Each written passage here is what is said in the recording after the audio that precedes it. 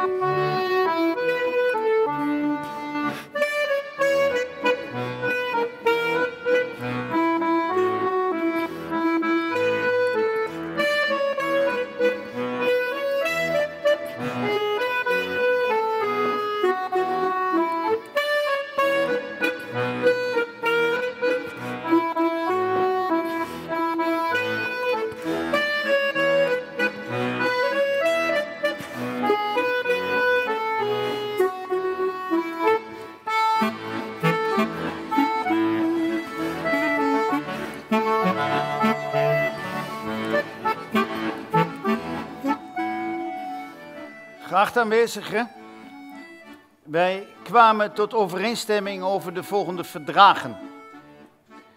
Verdrag voor de vreedzame regeling van de internationale geschillen. Verdrag nopens de opening der vijandelijkheden. Verdrag nopens de rechttoestand der vijandelijke vaartuigen bij den aanvang van den vijandelijkheden. Verdrag voor de toepassing van den zeeoorlog volgens de beginselen van het verdrag van Genève en overeenkomst voor de oprichting van een internationaal prijzenhof. Mogen de wereld gespaard blijven van oorlog en vernietiging.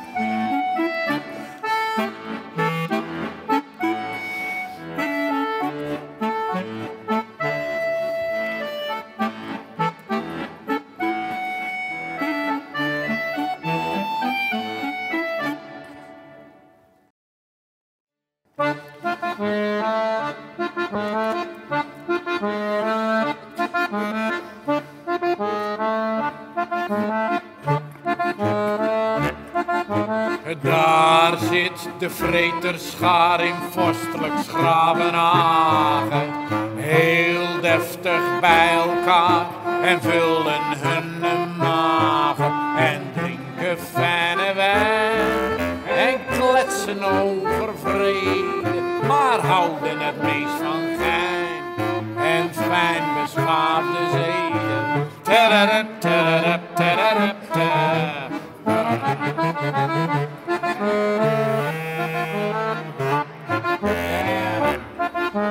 Zo gaat dat in Den Haag bij al die hoge heren.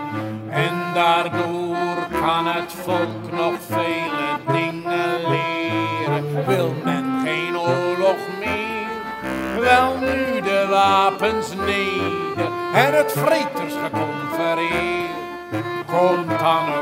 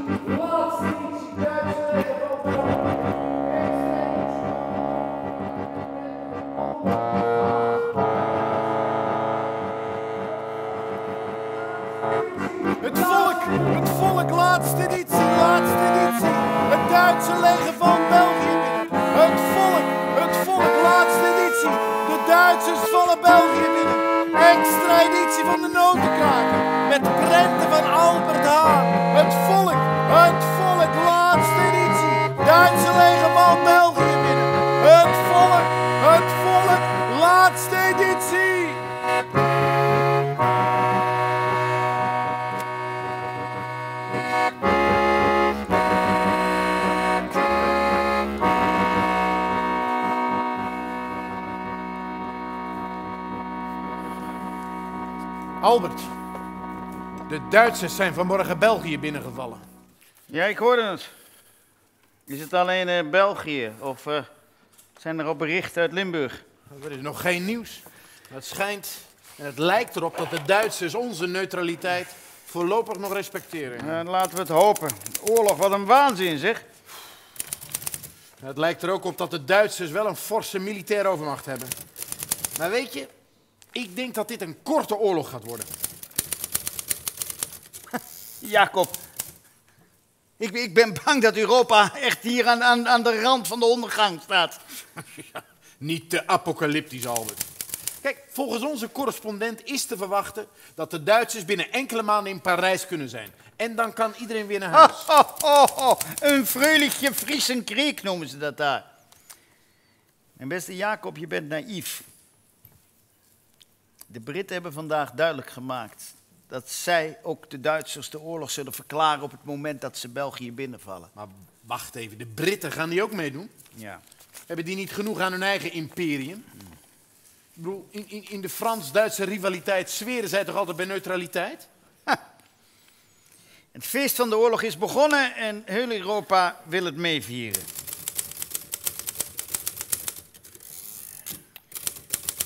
Weet jij dat trouwens in, eh, in Londen zelfs socialisten in de regering zaten? Ja, maar die socialisten zijn wel afgetreden onlangs, heb ik gehoord. En trouwens, heb jij al iets gehoord van de Duitse arbeidersbeweging? Wat, wat doen de Franse en Britse socialisten? Jacob praat me niet over de internationale arbeidersbeweging. De arbeidersbeweging verraadt haar missie, zinkt weg in een moeras van nationalisme. In Frankrijk hebben de nationalisten onlangs Jean Jaurès vermoord. De Duitse arbeidersbeweging steunt haar jongens aan het front. Dat is een goed onderwerp. Weet je, ik ga een artikel maken over de Europese arbeidersbeweging. En dan maak jij een mooie nieuwe spotprint. Wij eh, strijden met de pen en het potlood. Hè? Goed. Het volk en de notenkraker. Die zullen Europa een lesje leren. Oh, Albert, iets anders. Ik ben vanwege de oorlogsdreiging opgeroepen voor de mobilisatie.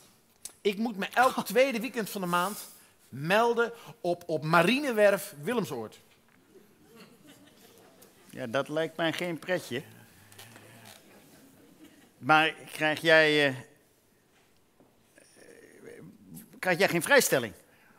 Trouwens, eh, waarom weiger jij niet? Je bent toch een man die, die niet bang is? Bang, maar ik ben niet gek. Weigeren en dan de nor indraaien zeker. Nee, kijk, voorlopig is er in Holland geen oorlog. Ik ga mij, zolang wij neutraal blijven, ga ik me iedere maand keurig melden. En dan breng ik in het volk verslag uit over het leven op de forten van de stelling van Den Helder. Elk nadeel heeft zijn voordeel. Hè? Mag ik jou dan heel veel plezier wensen bij de heren in uniform? Hè? In de warme zomer van 1914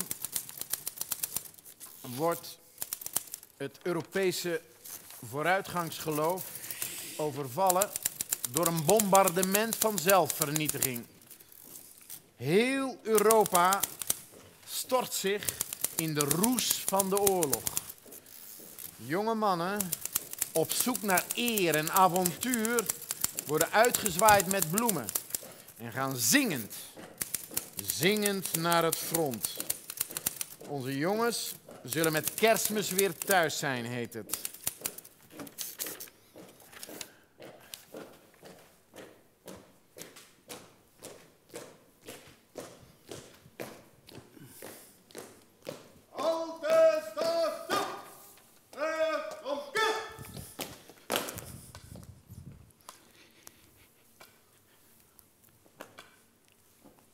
Mijn heren, Hare Majesteit laat u groeten.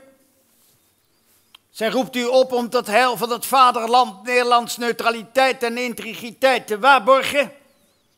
Ik heb vandaag overleg gehad met Hare Majesteits regering. En wij kwamen na rijp beraad tot de volgende conclusies. Zoals u bekend zijn Duitse troepen vandaag, 4 augustus 1914, de Belgische grens overgetrokken. Zij rukken op richting Luik. Het Nederlandse leger is voorbereid op wat komen gaat. Hoe zijn we in een dergelijke situatie terechtgekomen? Wel, nadat de laffe moord op de Oostenrijkse-Hongaarse kroonprins Frans Ferdinand in Sarajevo kon Oostenrijk, u ziet de liggende man, niet anders dan uh, Servië een afstraffing geven. De Servische regering biedt immers onderdak aan terroristen en anarchistische Sujeten. Rusland steunt dat Slavische Servië. Duitsland steunt vanzelfsprekend haar Oostenrijks-Hongaarse broeders. Rusland mobiliseert en is ondertussen Oost-Pruisen binnengevallen. Frankrijk, contractueel verbonden met Rusland, mobiliseert eveneens waarop Duitsland geen andere keus heeft dan België een ultimatum te stellen. Gisteren heeft de Belgische regering duidelijk gemaakt vrije doortocht voor de Duitse troepen te zullen weigeren, waarmee de neutraliteit van onze zuidere buren niet langer gegarandeerd kon blijven. Echter, gezien onze uitstekende relaties met de Duitse keizer en het Duitse opperbevel, zijn wij erin geslaagd om Nederland buiten deze oorlog te houden. Generaal von Moltke heeft mij persoonlijk verzekerd dat hij Nederlands neutraliteit zal garanderen. En ook onze ambassadeurs in Londen en Parijs komen met berichten dat Frankrijk en Engeland die neutraliteit zullen eerbiedigen. Niettemin, de fort in de stelling van Amsterdam en de Hollandse waterlinie zijn sinds vandaag in de hoogste staat van paraatheid gebracht.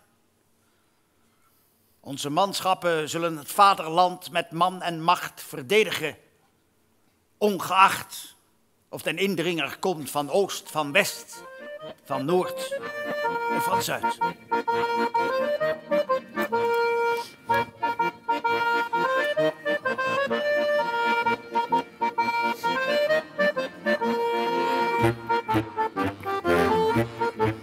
We leven het militaire leven, bij de soldaten is het schoon. Ik zit er nou een maand of zeven en het is waarlijk niet gewoon. S'morgens vroeg bij de ravij, kom je zo lekker uit je slaap. Corporaal al bij je bedje, kom er eens uit vervloekte avond. Oh, wat is het fijn bij de soldaten, bij de soldaten. Oh, wat is het fijn, bij de soldaten moet je zijn.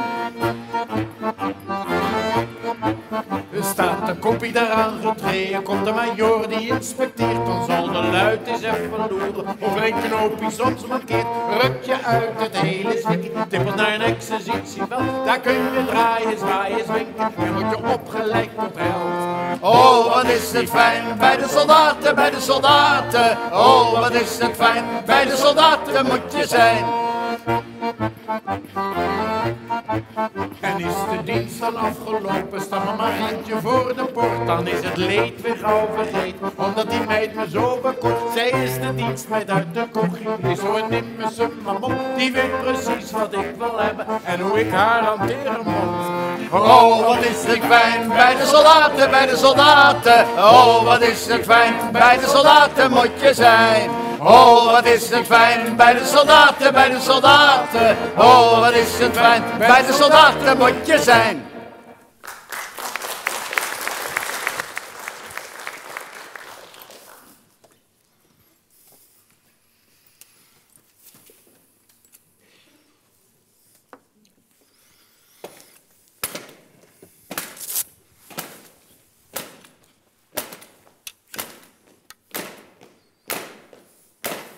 Koppies!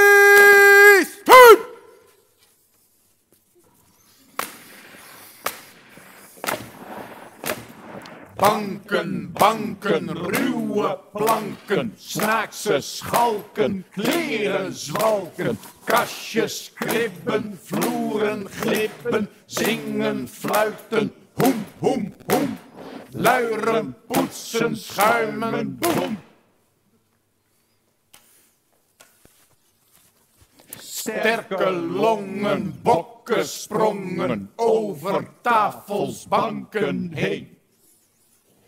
Eten, drinken, schrijven, stinken, koffie, brood, stilval, dood. Kapitein Venijn, kapitein Venijn, sergeant Hetland, sergeant Hetland. Hoe lang, hoe lang zal het nog duren, dat verdomde klote schuren? Rom, bom, bom, rom, bom, bom, de trom, de trom, de trom. Op de plaats! Rust!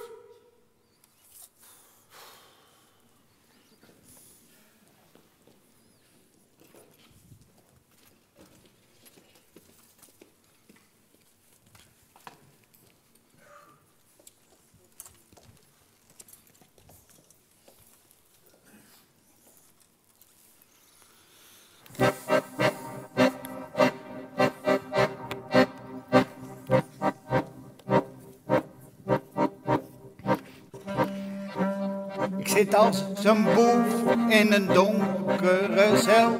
Ik voel niet dat ik iets heb misdaan. Ik deed wat mijn hart me gebood als mijn plicht. Ik weigerde in het leger te gaan. Maar als ik geboeid naar de trein word gebracht, dan wijken de mensen opzij. Ze zagen me vast voor een moordenaar aan en liepen vol afschuw voorbij. Maar als ik door de tralies de sterren zie staan, dan put ik weer nieuwe kracht. Dan voel ik geen haat, want ik weet dat mijn daad het licht is in de nacht.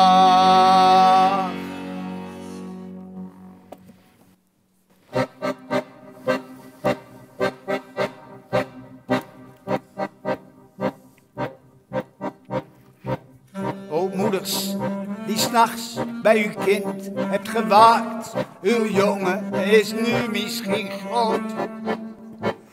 Nu mocht ge niet willen dat hij op verzoek de kinderen van anderen dood.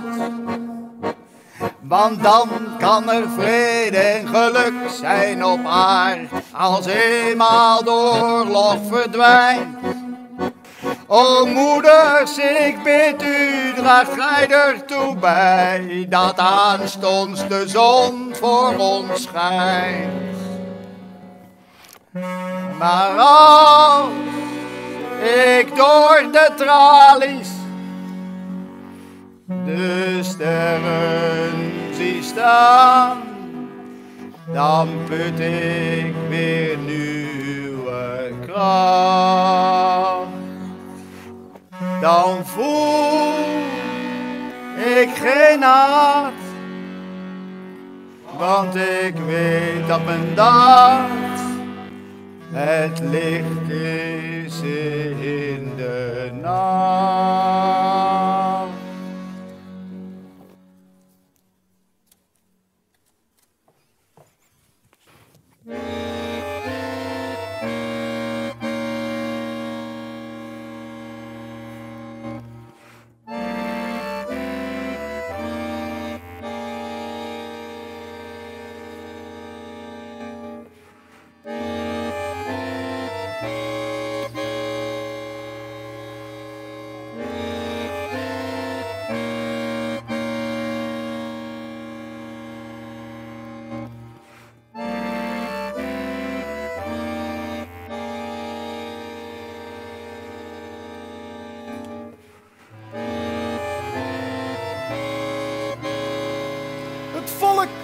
Volk, laatste editie, laatste editie. De Duitsers beschieten Antwerpen. Honderdduizenden vluchten naar Holland. Het volk, het volk, laatste editie met een extra editie van de Notenkraker en prenten van Albert Haan. Het volk, de Duitsers beschieten Antwerpen. Honderdduizenden vluchten naar Holland. Het volk, laatste editie, laatste editie. Duitsers beschieten Antwerpen. Vluchten naar Holland.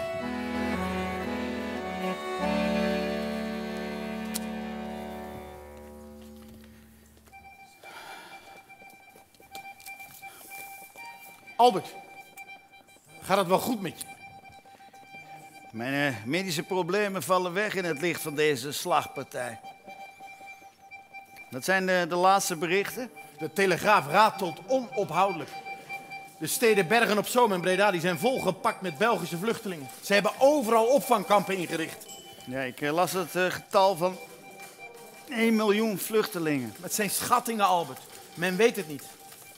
Overigens, de verwachting is wel dat de meeste Belgen binnenkort weer huiswaarts zullen gaan.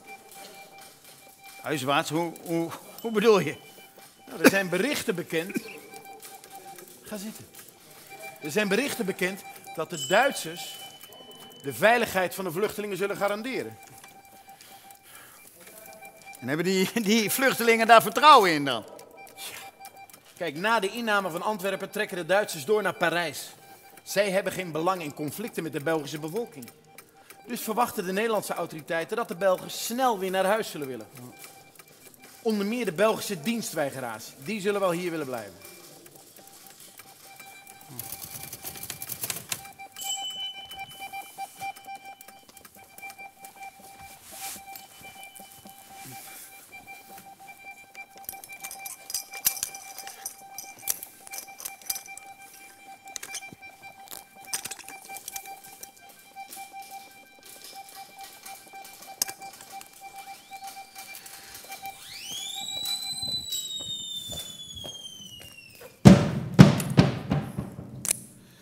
Hauptmann Holstein hier. Geben Sie mir bitte einen Anschluss nach Amsterdam. Nein, Amsterdam. Nein, ich kann nicht warten, nun direkt bitte. Ja, danke. Dank u zeer. Hallo, Albert. Albert, kun je mij verstaan? Ja, ik ben hier te gast bij de Duitse militaire staf, hier in Kortrijk. Ja, dat weet ik wel, dat ik heul met kapitaal en leger. Maar je weet, onze lezers willen dat ik verslag uitbreng vanuit het hol van de leeuw. Luister, luister, ik, ik heb de trein genomen vanuit Roosendaal en ik ben zo de grens overgestoken. En, en weet je, dat verhaal van dat schrikdaad klopt helemaal. Ze hebben langs de gehele grens een schrikdraad getrokken van 2000 volt tegen smokkelaars en spionnen. Ja, er zijn nog flink wat slachtoffers gevallen. Wat zeg je? Nee, nee, vooral tegen die smokkelaars. Nee, nee, die vluchtelingen waren toen nog grotendeels terug in Vlaanderen. Van die miljoen die er in Holland waren, zijn er nog pakweg 80.000 achtergebleven in Holland. Wat? Ja, ja, ja, ja. ja. Oh, iets anders, Albert. Weet je, wat ik hoorde hier van de Duitse officier die mij vergezelt. Er loopt hier in eh, Kortrijk een jonge man rond, genaamd Fokker. Ja, ja, diezelfde, ja, die nog niet zo lang geleden rond de Babo is gevlogen in, in, in Haarlem. Ja, het verhaal gaat dat hij toen naar Duitsland is gegaan en hij heeft een vliegtuigenfabriek inmiddels. Ja, eh, ja, hij leek me ook nog vrij jong. Wat zeg je? Een interview? Ja, als die man dat wil. Ik, ik zal het vragen. Luister, Albert, ik moet gaan hangen. Tot ziens en een groet aan een collega, hè? Dank u zeer. Eh, kan ik Ihnen etwas vragen? Bitte. Kunnen Sie mir in Kontakt brengen met deze Herr Fokker? Äh, kein Problem. Setzen Sie sich. Dank u. Thank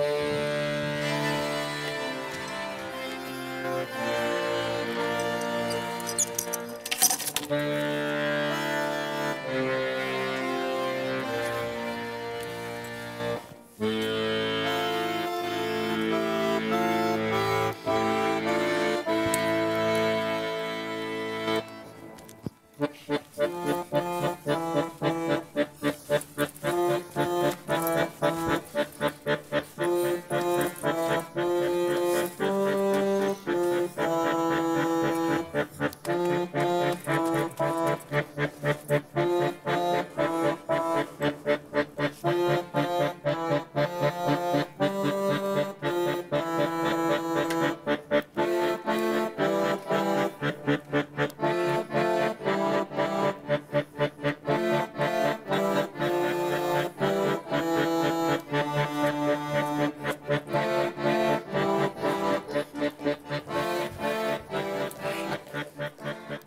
Fokker, fijn dat u mij even te woord wilt staan. Het, eh, genoeg is mijnerzijds.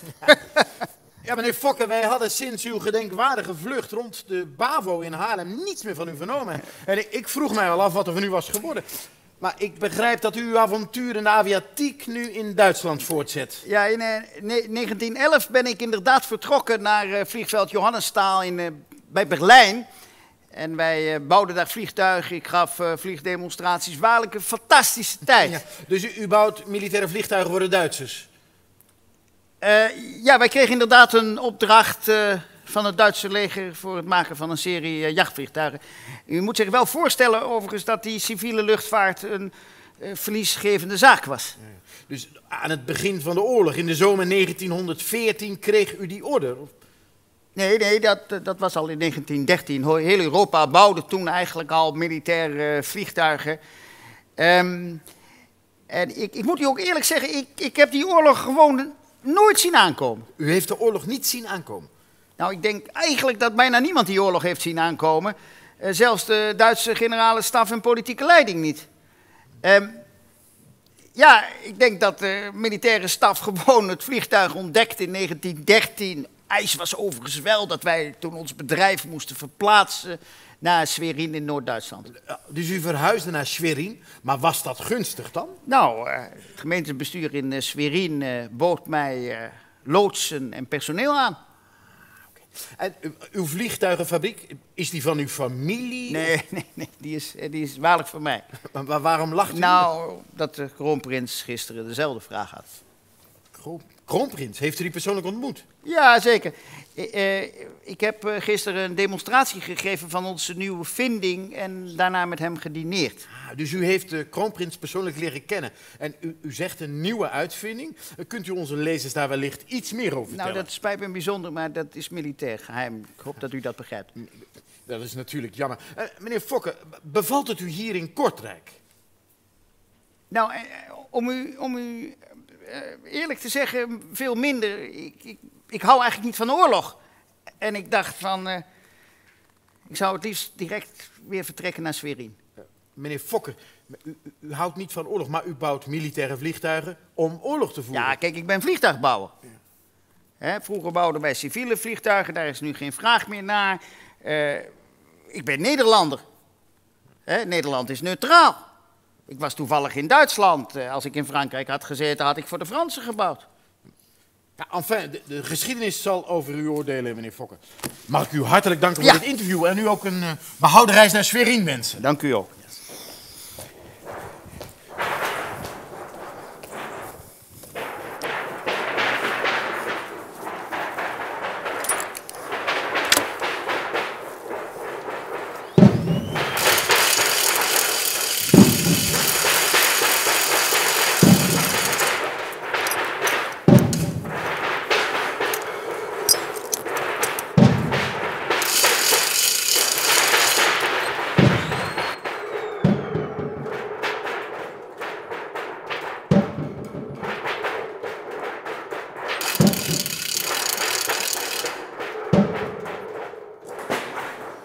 Holstein hier.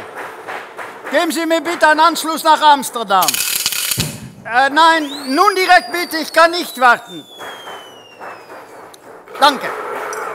Dank, dank u zeer. Hallo, hallo Albert. Albert, kun je mij verstaan? Excuses, een enorm lawaai hier. Ik, sta hier in de Duitse loopgraaf in Ieper. In Ieper, wat zeg je? Ja, luister. eh, een uur geleden kon ik over de rand van de loopgraaf kijken. En, en wat ik daar zag, dat was verschrikkelijk, Albert. Ik, ik zag honderden doden en gewonden liggen, die waren gevallen. Bij elke poging dat zij voorwaarts ging om de aanval te kiezen, vielen ze met bosjes om, Albert. Ongelooflijk. Ik, ik moet zeggen, jouw tekeningen geven de werkelijkheid getrouw weer. Het is alsof je hier in de wachtkamer van de hel zit, Albert. Verschrikkelijk, verschrikkelijk. Maar, maar iets anders. Nee, nee, luister. Ik, ik, ik, ik ving iets op hier. Dat, dat er wordt een gebruik gemaakt van een nieuw wapen. Men maakt nu gebruik van gifgas. Ja, dat verhaal gaat dat...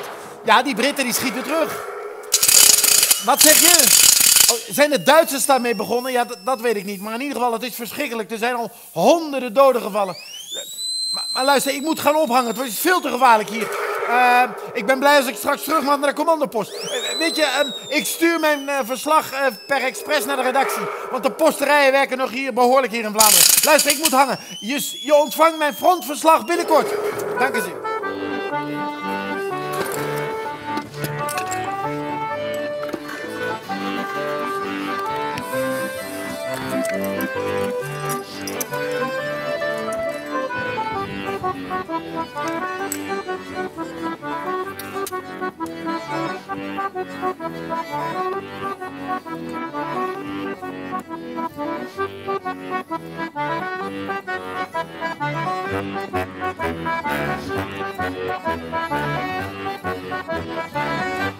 Ik had een prachtpositie en verdiende heel veel geld. Ik onderhield mijn ouders, dat werd overal verteld.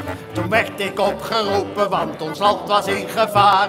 Mijn moeder weende bitter en mijn vader vond het naar. Hij kreeg een sabel en een patroontas, een uniform en van allerhand. En zo marcheerde hij door de straten voor het heil van het lieve vaderland.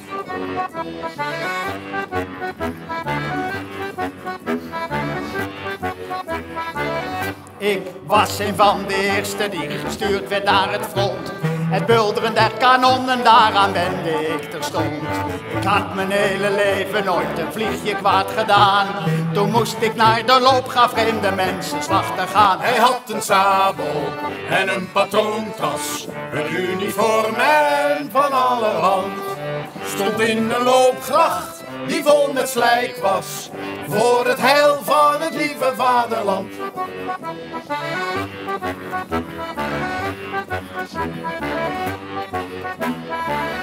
Mijn naam werd overal met eer en roem vermeld. Het boekstrippen voor eer en roem werd op mijn bron gespeld. Ik redde een officier het leven en streed dapper voor. Ik werd een held genoemd omdat ik mensen had vermoord. Hij had een sabel en een patroontas, een uniform en van allerhand. Gij zult niet doden, was hij vergeten, voor het heil van het lieve vaderland.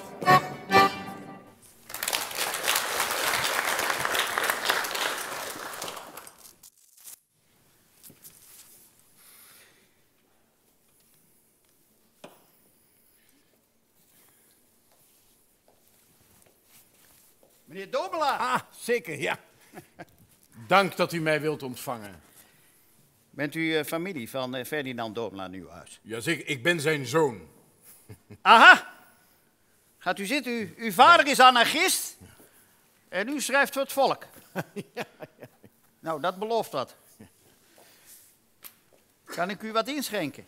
Eh, nee, dank u zeer. U, u drinkt niet. U bent van de blauwe knop. Die eh, socialisten die zijn allemaal van de blauwe knop. Hè? Nou, ik neem er een. Als u het niet erg vindt. Maar dan kent u ook die, die tekenaar.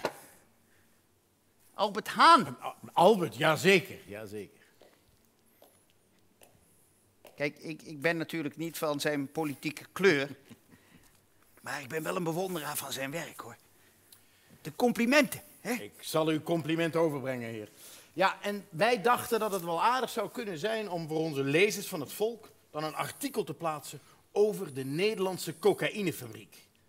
Aha, ja, u begrijpt dat ik het volk niet lees, maar ik ben wel bereid om uw lezers uit te leggen wat het belang is van onze medicijnen. Medicijnen. Maar cocaïne geeft toch de indruk van een verslavend middel. Eh, Ja, dat is echt een misverstand. Ehm, wij produceren uitsluitend voor medische doeleinden. Hè? Ehm, cocaïne is waarlijk een, een eh, uitstekend eh, pijnstillend middel. En eh, u begrijpt, daar is in deze tijd erg veel behoefte aan. Ter troost van die arme drommels aan het front. U heeft, laten we zeggen, een humanitaire missie, begrijp ik. Maar onder ons gezegd, u heeft toch ook een fors winstdraaiende fabriek? Nou, laat ik zeggen dat de zaken niet slecht gaan, maar vergeet u vooral ook uw lezers niet te melden dat wij waarlijk hartverwarmende brieven hebben van soldaten van het front die troost vinden bij ons medicijn. Een troostend medicijn. Of is het een verslavend petmiddel voor aan het front? Nou, laat ik u zeggen dat het een heel goed middel is om staande te blijven in deze orgie van geweld. Ja. En hoe maakt u die cocaïne eigenlijk? Eh, van coca-bladeren. Eh, die voeren we dan in vanuit de plantages in Nederlands-Indië. En die worden dan hier in de fabriek verwerkt. Dus de, dus de grondstoffen komen uit Nederlands-Indië, zegt u. Maar geeft dat gezien de huidige duikbotenoorlog geen problemen? Ja, die aanvoer is soms wel een probleem. Eh, maar we hebben natuurlijk wel het voordeel dat wij als Nederlanders neutraal zijn. Hè? Onze collega's in eh, Frankrijk en Duitsland hebben aanzienlijk grotere problemen met de aanvoer. Want u levert zowel aan de Duitse als Franse troepen. Ja, u moet ons eigenlijk vergelijken met het Rode Kruis.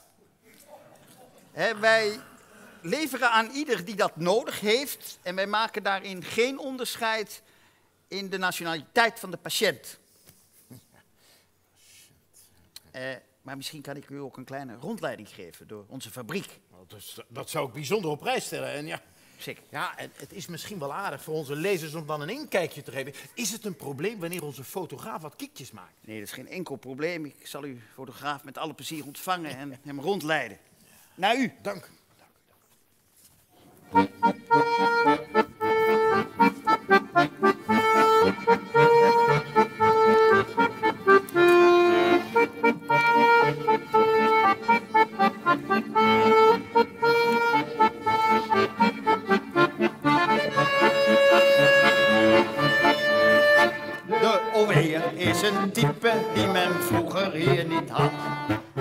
een illustratie van het leven onze stad. Vroeger was hij slager, groenteboer of kruidenier. Nu bewoont hij een chique villa in museum of parkkwartier. De Oweer is van de oorlog wel het walgelijkste product. Daar de ruwheid echt de stempel der cultuur op heeft gedrukt. Want met zijde goud juwelen hangt hij wel de brani uit. Maar het effect is nooit iets anders dan een vlag op een modderschuit.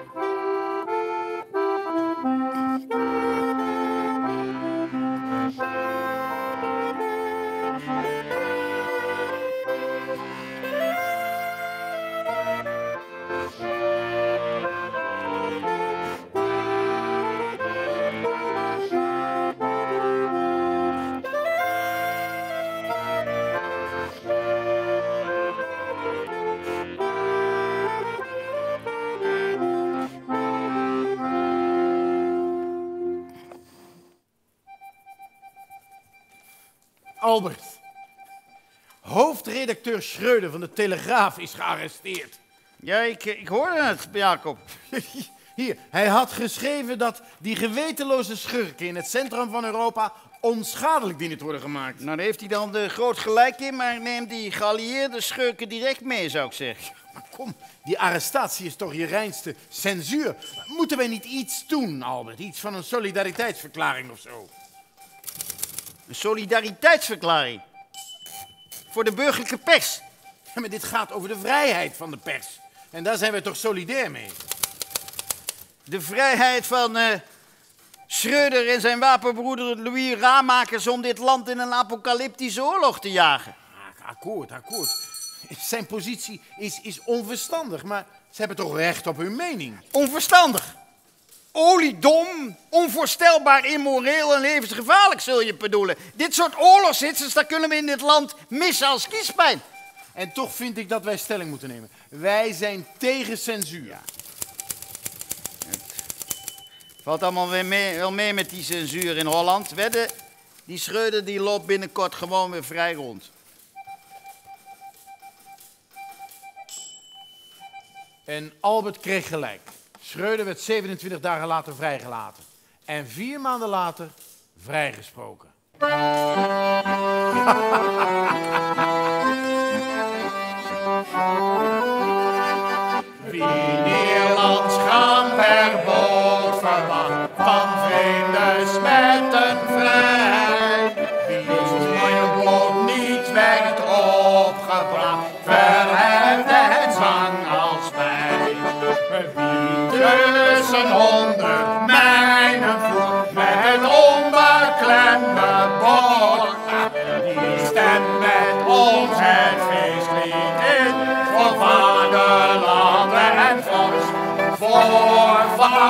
Vaderland en vorst.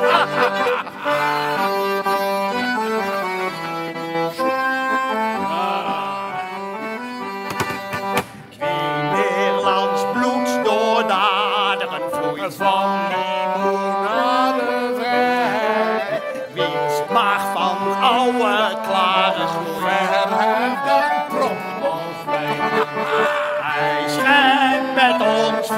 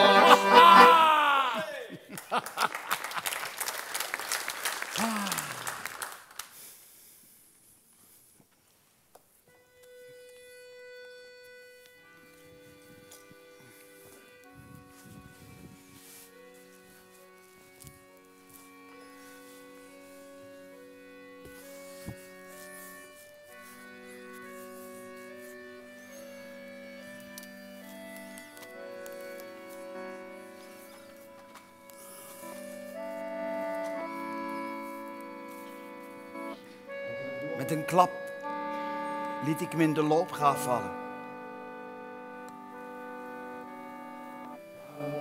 We hadden de opdracht een loopgraaf schoon te maken. Dat is te zeggen,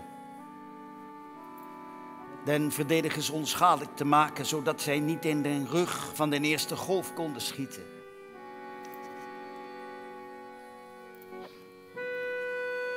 Het eerste wat ik zag was een lijk, bedolven onder gescheurde zakken met aarde.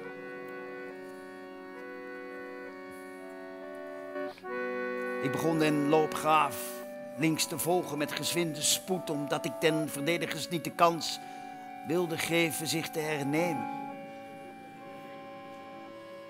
En ik had nog maar enkele meters afgelegd toen ik een hoek omdraaiende stoot op een nog levende Duitser, gewapend evenals ik.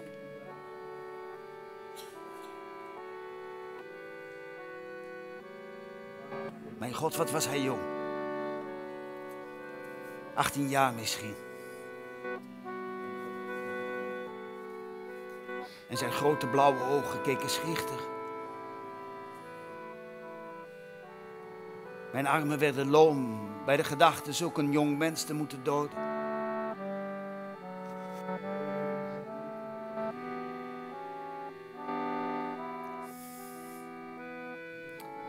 Opende zijn mond om iets te zeggen, om te vloeken misschien.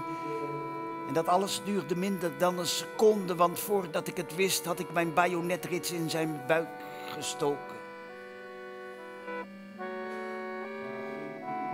Mijn eerste stoot.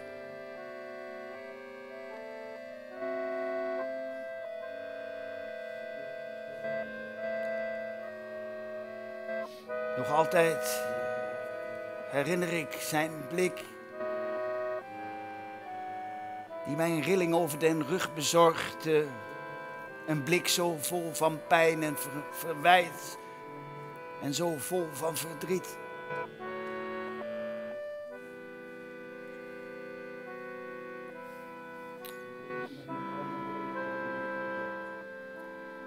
Hij stond, hij wankelde, hij opende zijn mond, hij bloedde niet eens. En toen trok er een lichte waas over zijn ogen. Hij zakte in elkander. Zijn geweer kletterde op de grond.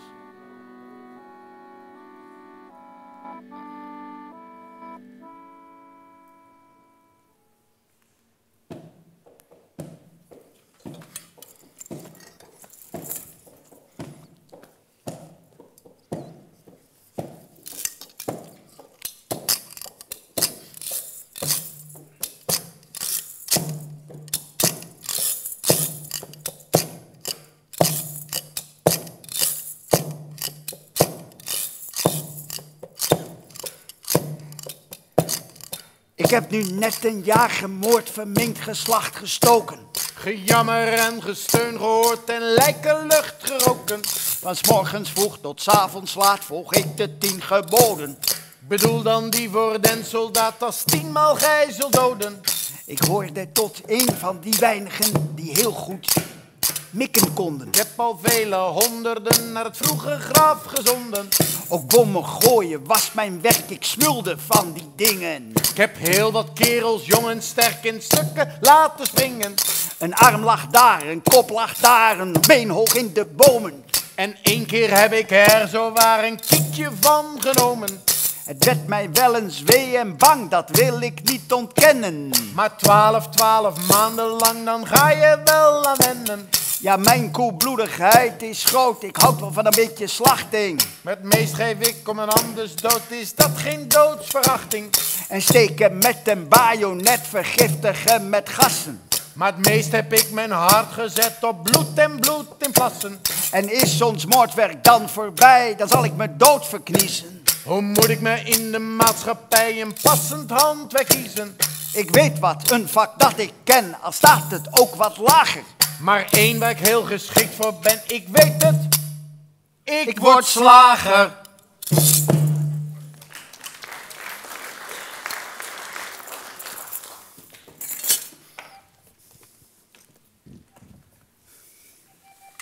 Zeg Albert, heb jij het laatste telegraafbericht uit Parijs gelezen?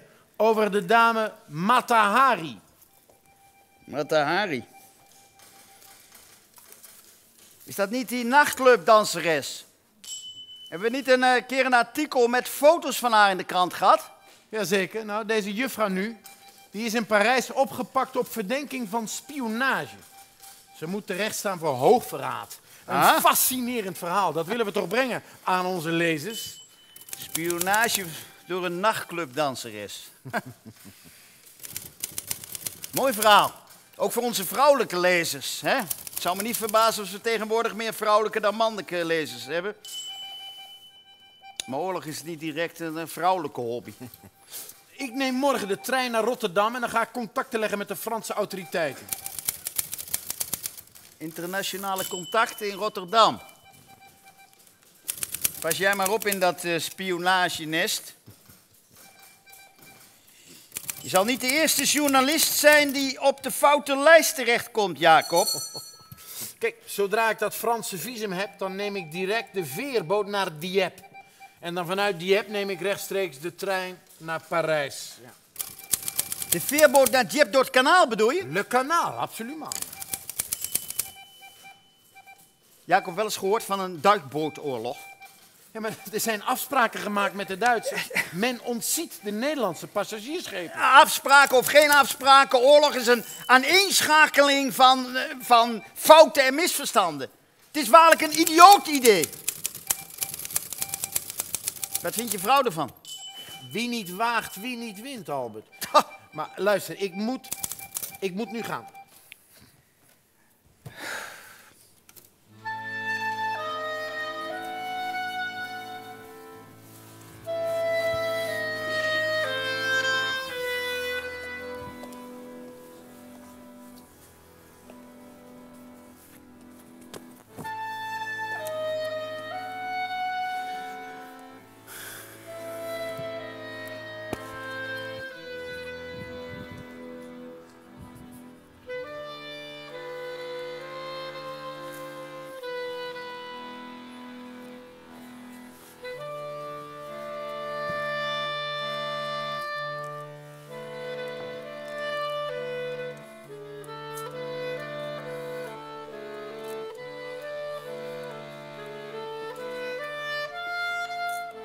Matahari zit onbewogen op de beklaagde bank. Vanuit de pesttribune kan ik haar op de rug zien. Ik heb moeite het pleidooi van haar advocaat in het Frans te volgen, maar ik voel aan alles dat dit verkeerd gaat aflopen. Zittend op de tribune word ik overvallen door medelijden met deze naïeve femme fatale, opgepakt door de Franse geheime dienst op verdenking van spionage. En verstrikt geraakt in het grote mannenspel van oorlog en spionage.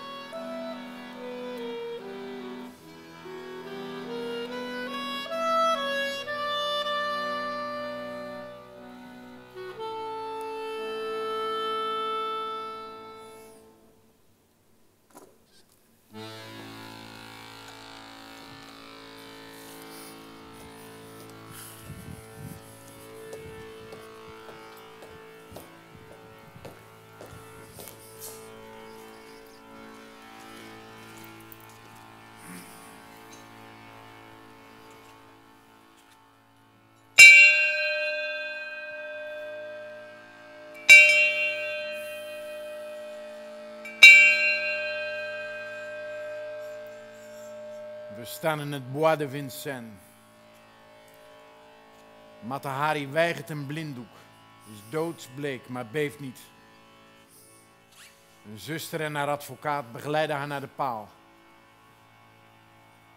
Ze geeft beiden nog een hand en steekt vervolgens haar polsen uit naar de adjudant om ze te laten samenbinden. Het executiepeloton, twaalf zwaven onder een officier, nemen hun posities in en houden hun wapens op haar borst gericht. Présentez armes. De adjudant laat de wapen van zijn pistool zakken. Matahari is voorovergevallen, terwijl haar lichaam zich nog draait en haar gezicht zich naar boven richt. Een adjudant nadert en vuurt het reglementaire revolverschot. De coup de in de slaap af.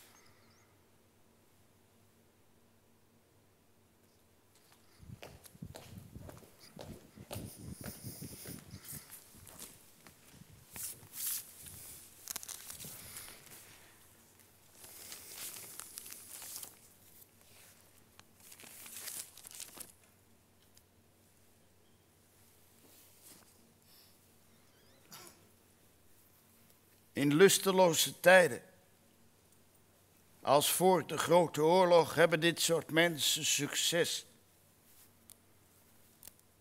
Maar in grote perioden, als waarin wij thans leven, waarin in de smeltkoers van het wereldgebeuren de mensheid wordt gezuiverd, van het schuim en alleen het zuivere goud overblijft dan komt een Matahari tot het Judas-einde dat zij verdiende.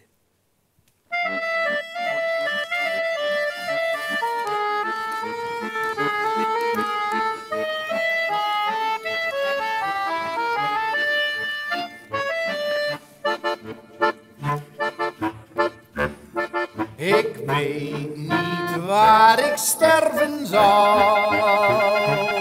En nog roemrijk ongeval bij Tatakir. Den frontsoldaat die moordend heeft zich hoffelijk naar zijn graf geleefd. Zal interesseren.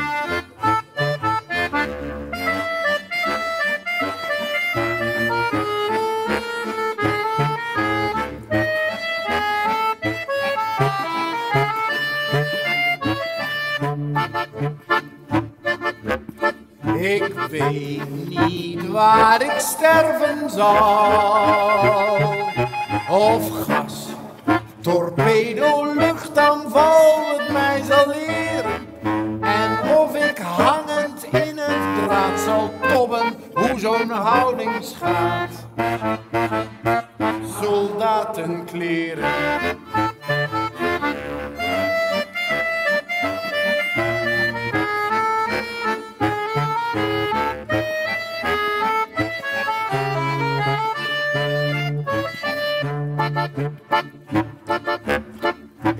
Weet niet waar ik sterven zal. En of ik straks of bijgeval reeds ben vergeten. En of de vrouw waar ik voor val haar rouwconfectie kopen zal. Of aangemeten.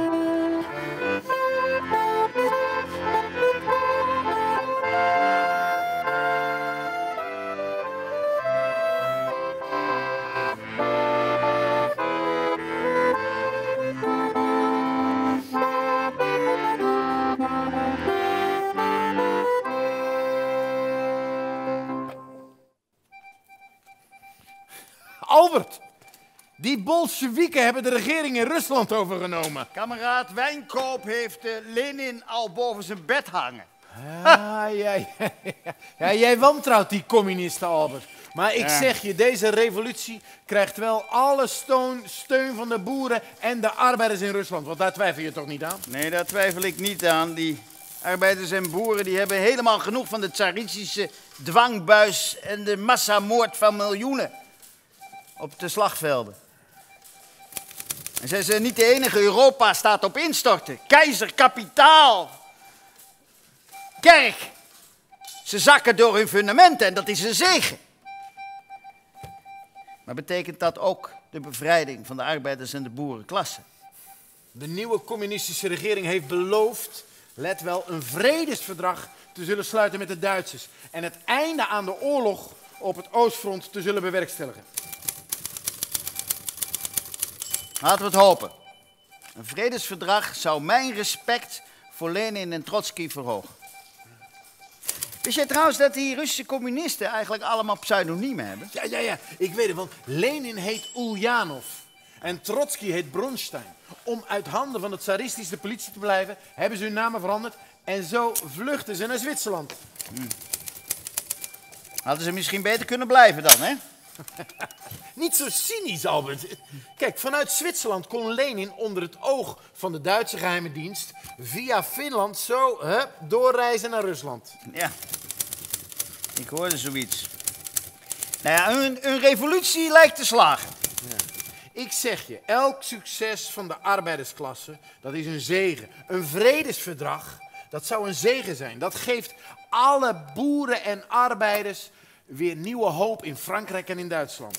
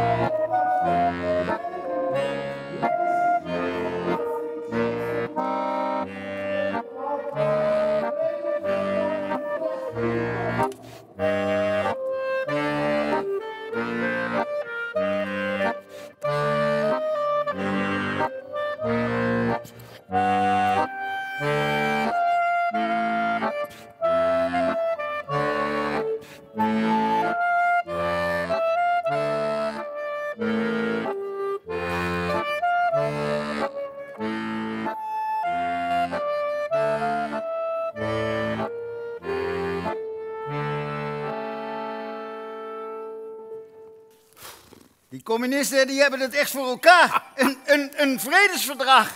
Ha. Jacob, nu is het onze beurt. Ja, ja, ja, ja. Nou, dat zal niet meevallen. Want nu krijgen de Duitsers hun troepen vrij voor het Westfront. Ze willen komend voorjaar doorstoten naar Parijs. Nou, dat zal dan nog wel eens kunnen tegenvallen, want eh, de Amerikanen zijn nu juist weer eh, begonnen om het geallieerde front te versterken. Ik, ik geloof toch dat 1918 het beslissende oorlogsjaar gaat worden. Ja, Of de centrale of de geallieerden de oorlog winnen, het zal me om het even zijn. Maar de weerzin tegen deze imperialistische oorlogen, die groeit. Rusland geeft hoop. De internationale arbeidersbeweging krijgt gewoon de wind in de rug. Ja, maar, maar bedoel jij daarmee dat de Nederlandse arbeidersbeweging ook een historische kans krijgt? Binnen de SDAP hebben wij reeds heftige debatten wat te doen na de oorlog. Deze, deze oorlog gaat Europa op zijn kop zetten.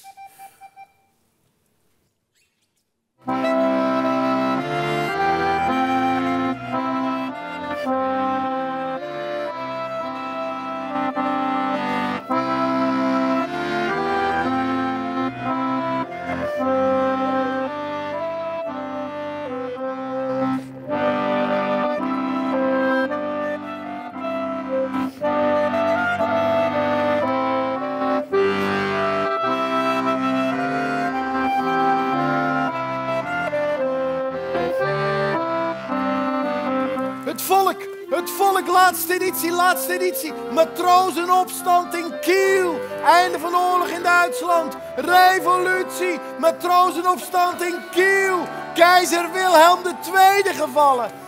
Het volk, het volk, laatste editie met een extra prenten van Albert Haan. Matrozenopstand in Kiel.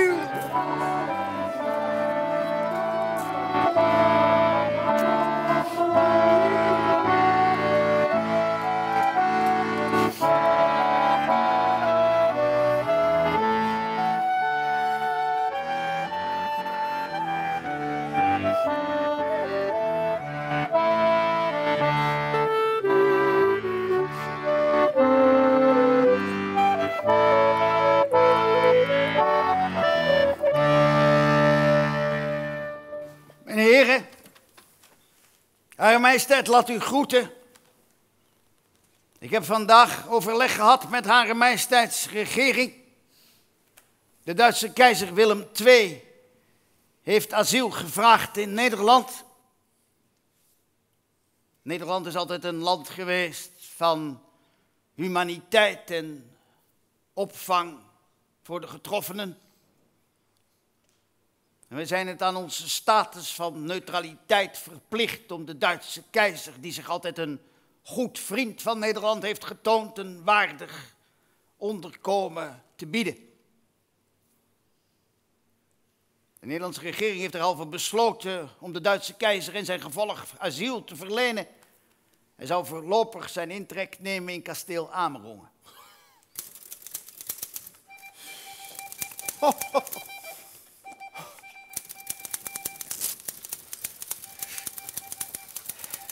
Albert, Jacob, dat ik dit mag meemaken. De Duitse keizer, gevallen. krijgt asiel in Nederland.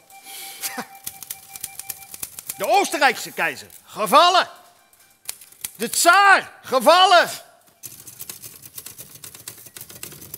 De Ottomaanse sultan, afgezet. Het hele royalistische, autocratische Europa en het kapitalisme zakken door hun fundamenten. Ik zeg je, wij leven in historische tijden. Zoveel is zeker. En nu is het de beurt aan de Nederlandse arbeidersbeweging.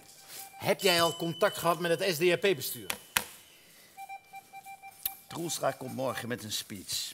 Hij zelf wil de revolutie uitroepen, maar de partij is verdeeld. Ik zeg je dat de SDAP gaat de steun krijgen van de communisten, de vrije socialisten en de anarchisten. Alle steun.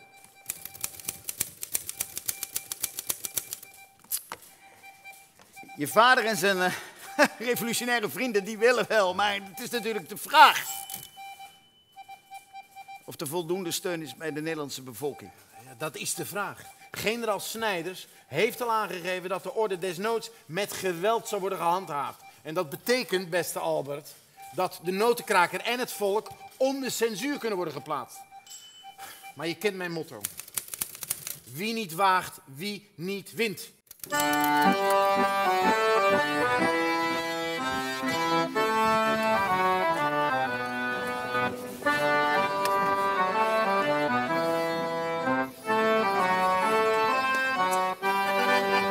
Leden van de regering, parlementariërs, leden van de pers, kameraden.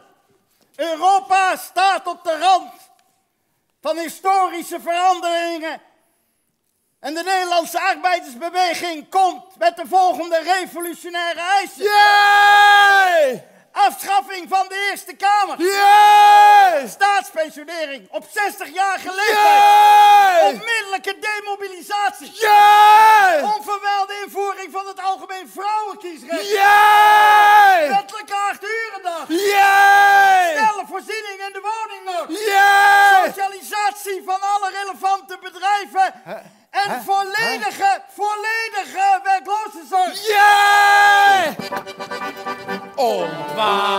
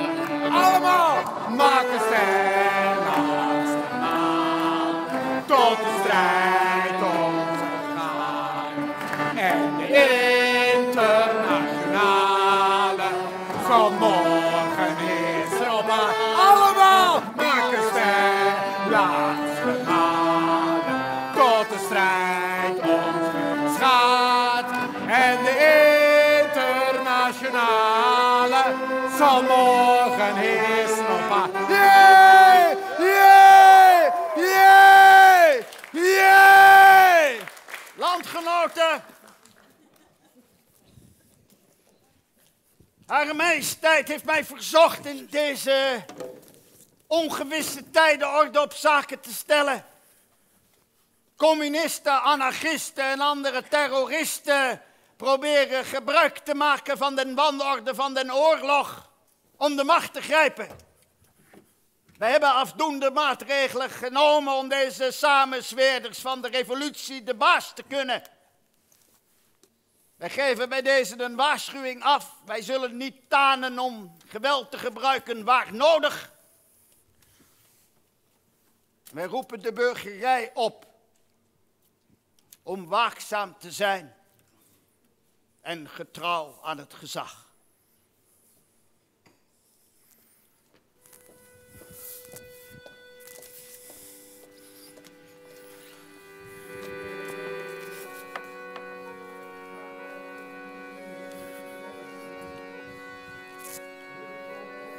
Militaire doden en gewonden. Frankrijk 6 miljoen 110.300. Rusland 6 miljoen 761.000. Groot-Brittannië 2.556.014. Italië 2.055.000. Verenigde Staten 324.170. Totaal geallieerden 19.556.863. Duitsland 6.861.950. Oostenrijk-Hongarije 6.792.000. Turkije 1.454.000. Totaal centrale 15.486.963. Totaal militaire doden en gewonden 35 miljoen 43.826.